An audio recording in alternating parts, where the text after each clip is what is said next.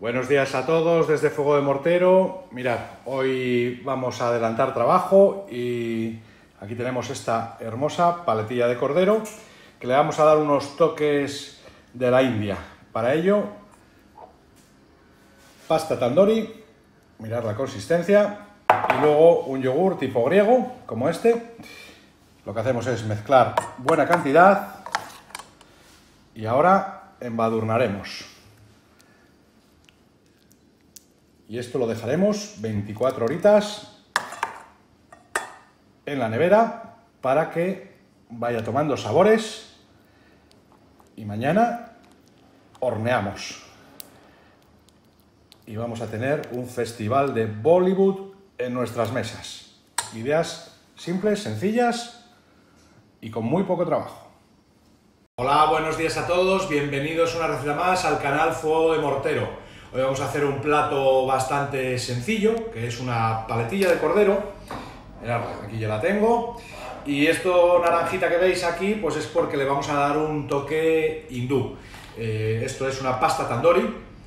Está, bueno, es muy concentrada, eh, lo que tenemos que hacer siempre es rebajarla o pasarla primero por la sartén, en caso de que bueno, directamente lo hagamos con unas verduritas, por ejemplo, hay que freírla un poco en aceite vegetal y en este caso lo que hacemos es mezclarla con un yogur griego, tipo griego, eh, elegido este, y lo que haremos es pues meter una cucharada grande de, de la pasta tandoori y luego pues dos o tres cucharadas de yogur natural, cogemos sin azúcar, lo mezclamos todo y bueno, pues es una especie de un marinado que vamos a hacer con cualquier tipo de carne, ya sea unas brochetas de cordero, un pollo, lo que os apetezca. En este caso, como os digo, aquí tenemos una paletilla de cordero, que no de lechazo, la he tenido 24 horas en la nevera, que vaya cogiendo sabor y ahora simplemente tendremos que hacerla en el horno, que lo tengo aquí precalentando para tenerlo a 180 grados. Eh, ¿Cómo vamos a hacer este cordero? Podríamos servirlo a grosso modo, ¿no? Pero eh, le he dado una vuelta porque ya he hecho algunas paletillas eh, para el blog, entonces mm, yo creo que le voy a dar un toque chulo y diferente, vamos a desmigarlo y lo voy a acompañar con, vamos a hacer una especie de finger foods con endivia. La endivia, bueno, ya sabéis que tiene esta forma de, de, barquito, de cuenquito, que nos va a venir ideal para rellenar. Y la vamos a rellenar al cordero, pues en en este tipo de elaboraciones le va fenomenal lo que es el couscous, que bueno, la sémola de trigo, ya sabéis, esto simplemente hay que poner la misma cantidad eh, de cereal que de agua hirviendo, mezclamos, dejamos que absorba, lleva un poquitito de sal y ya está, ya tenemos nuestro couscous que luego lo separamos con un tenedor.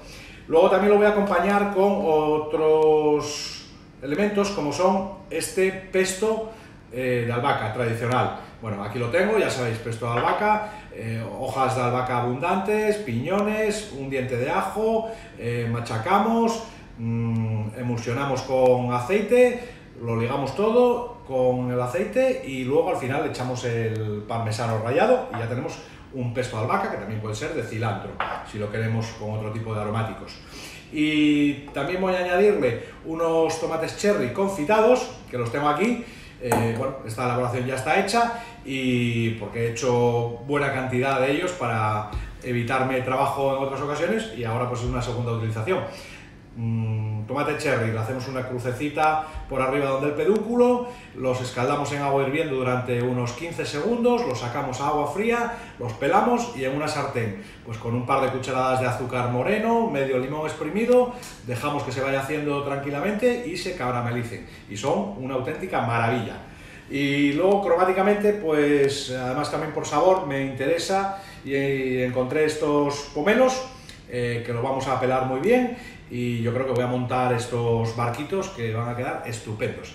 Y es una forma diferente de comerse un cordero tipo hindú, pero con las manos. El primer paso va a ser meter nuestro corderito al horno. Ya está precalentado, aquí lo tenemos. Y vamos a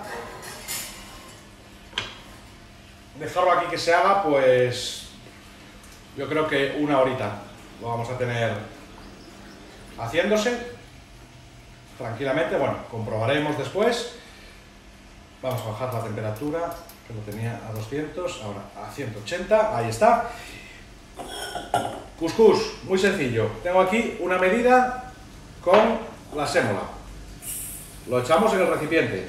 Por otro lado tengo misma medida, le he puesto un poquitito de sal, aquí el agua que del grifo me sale hirviendo y echaremos la misma medida. Ahí está.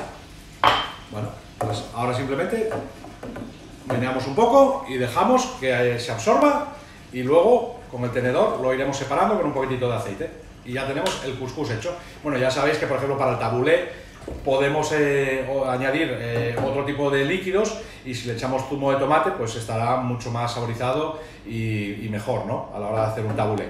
Pero bueno, tampoco quiero meter demasiados sabores y simplemente la sémola me es suficiente para los barquitos de la endivia. Bueno, ya veis que la receta es bastante simplona, es de montajes y tenemos obviamente pues algunos de los procesos ya hechos como pueden ser los cherry caramelizados, el pesto, el couscous que no nos lleva nada, han pasado 24 horas en la nevera con la maceración, el cordero y el tiempo que tengamos que esperar para luego desmigarlo. Voy a ir avanzando por entretenerme eh, el pomelo y lo que vamos a hacer es, vamos a sacarle para que veáis cómo se hace unos gajos totalmente limpios. Cortamos la parte de arriba, la parte de abajo bastante pulpa. Y lo que tenemos aquí son las porciones, veis las divisiones que hay. Entonces lo que vamos a hacer es, vamos a ir pelando, eliminando todo lo blanco. Vamos a calcar más, así. Y vamos eliminando toda la parte blanca, que es lo que amarga.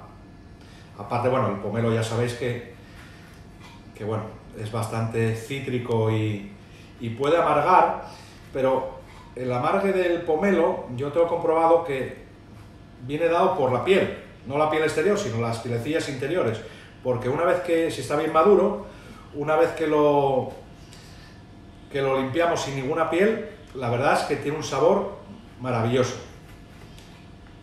Bueno, para no aburriros, mirad, haríamos lo siguiente buscamos el triángulo y cortaremos en chaflán.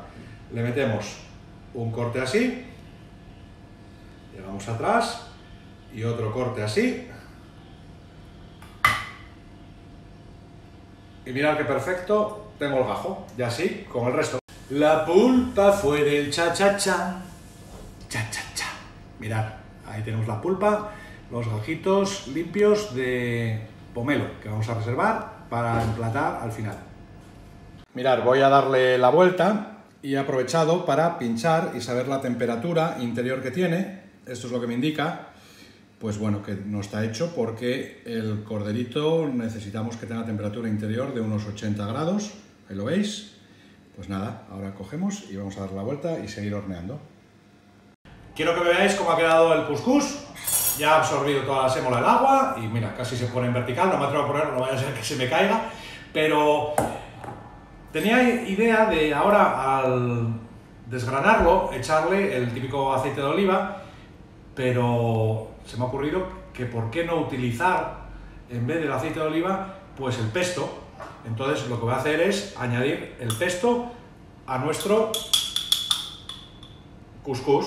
Entonces lo echamos y lo mezclamos y va a quedar estupendo. Ahora os lo enseño cómo acaba. Voy a mezclarlo más cerca para que lo veáis. Mirad. Esto está un poco compactado. Iremos con el tenedor.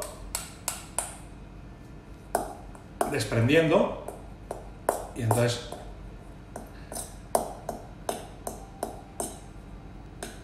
mirad la consistencia que va cogiendo. Y yo creo que esta idea de meterlo con el pesto pues funciona perfectamente porque además de color eh, le va a dar más sabor y me cambia lo que es la presentación que tenía antes, que bueno, pues iba a poner el pesto encima de eh, la endivia, el corderito y luego iba a salsear un poco, pero yo creo que así va a quedar mucho mejor. Mirad. ¿Veis ahora cómo quedan los granitos? Un couscous. Ya lo he retirado del horno y no os podéis dar ni idea de cómo huele. Parece que estamos en las calles de Bombay. Bueno, lo he tenido una hora y media porque he ido jugando con las temperaturas entre 160 y 180 grados y luego, bueno, tengo el termómetro aquí que me mide la temperatura interior que para el cordero son 80 grados. Retiramos y ahora, mirad, voy a enseñaroslo. Bueno, pincharlo y sale todo el jugo. Esto es una auténtica mmm, maravilla. Me apetece hasta cogerlo así y comerlo en plan Obelix. Mirad cómo ha quedado perfectamente deshuesado. Aquí lo tenéis, mirad. Perfecto. No tiene ni un ápice de carne pegada al hueso. Eso es síntoma de que está perfectamente hecho. Y aquí tenemos la carnita. Vamos a seguir picando. Así ha quedado, totalmente desmigado. Mirad los trozos. No queremos ni trozos muy grandes ni trozos muy pequeños. Bueno, también va en gusto y depende de cómo apliquéis vosotros el, resultado final. Pero bueno, para rellenarlo lo que son las endivias, no quería tampoco muy chiquito ni muy grande. Por fin ya tenemos todo dispuesto y podemos emplatar. Para ello, endivia, las hojas grandes, las de fuera, suelen ser las más grandes, obviamente, y aquí tenemos el barquito, y lo voy a servir en esta pequeña bandeja de eh, coco, que me traje de Tailandia. Y bueno, pues vamos a coger una hojita, vamos a tomar el couscous con el pesto, que lo tenemos aquí mezclado, os lo voy a acercar para que veáis el color que tiene. Le ponemos una buena cantidad, mirad, ahí está el barquito. Seguiríamos con unos trocitos de cordero, vamos a elegirlos, por ejemplo este, vamos a poner aquí, este otro así, vamos a ver, bueno, aquí podemos elegir los que más nos gusten, yo creo que, bueno, vamos a meterle otro poco más, este mismo, así. Luego vamos a poner tomatito cherry, vamos a poner uno aquí y vamos a coger este otro amarillo que lo vamos a colocar en este otro lado. Y un poquitito de aquí en medio para dar color de nuestro pomelo. Y nada, pues este sería el emplatado final. Y esto, ya sabéis, finger food y a disfrutarlo. Si os ha gustado la receta, le dais a la manita, si no estáis suscritos al canal, campana y bueno, pues hasta la próxima receta y espero que esta os haya gustado porque es bastante divertida y sabrosa. No os voy a privar de una toma más cercana porque esto tiene una pinta espectacular. Bueno, ya habéis visto todo el proceso, lo fácil que es y la satisfacción que nos da cuando nos lo metemos en la boca es brutal, lo dicho. Voy a viajar al Taj Mahal ahora mismo.